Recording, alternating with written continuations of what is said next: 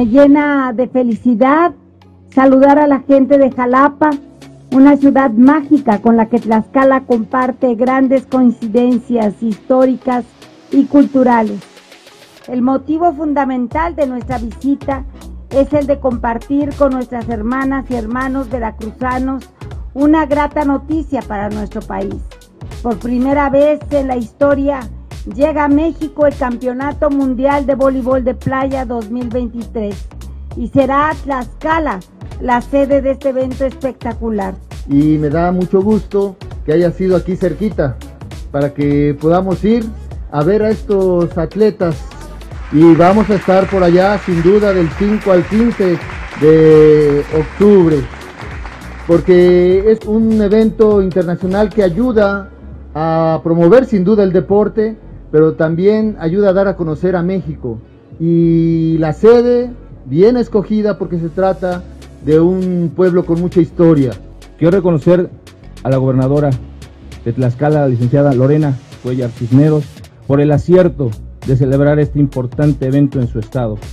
Su dedicación y compromiso con el deporte son fundamentales para que este Tropitour y Mundial de Playa sea posible. A nuestra entidad le tocará hacer historia, a transformar nuestras espectaculares plazas de toros de Apizaco, de Tlaxcala y Guamantla, así como la explanada de nuestro Museo de Arte en enormes canchas de arena, donde 192 atletas de 38 países del mundo se disputarán su pase a los Juegos Olímpicos de París 2024. Estretopitur no solo es una oportunidad para admirar el magnífico trofeo que solo un par de parejas podrán obtener en el Mundial de Voleibol de Playa, sino que también representa la culminación de años de esfuerzo, dedicación y trabajo en equipo.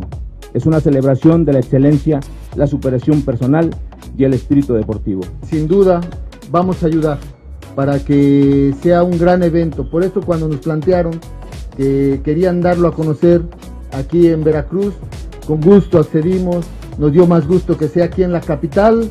Estamos aquí apoyando. Lorena, ten la seguridad que vamos a hacer todo de nuestra parte. Nos da gusto y sean bienvenidos. Nada nos gustaría más que contar con la alegría del pueblo hermano de Veracruz y decirles que justo allá, en el centro de la República, cuentan con un lugar seguro y venturoso, donde siempre los recibiremos con los brazos abiertos.